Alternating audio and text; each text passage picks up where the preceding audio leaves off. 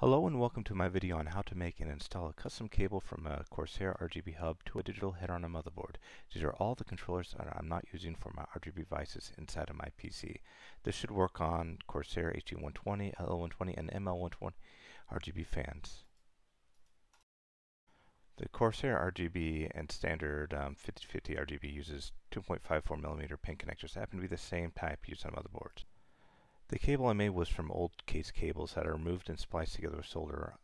I insulated each conductor with shrink wrap before I shrink wrapped the whole area. I wired red to red as data and white to blue just for ground. Um, I also removed pins to place them in the right place um, by slightly bending the plastic on the connector and pulling the lead out. Do not yank these things out or else they won't go back in well.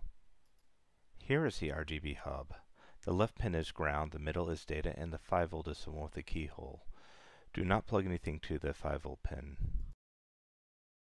This is one of the digital headers on my motherboard. I'm only using two pins, data and ground. Please refer to the manual to get the proper pinouts for your motherboard. Do this properly as I have no idea what 5 volts will do to the data line on your LEDs.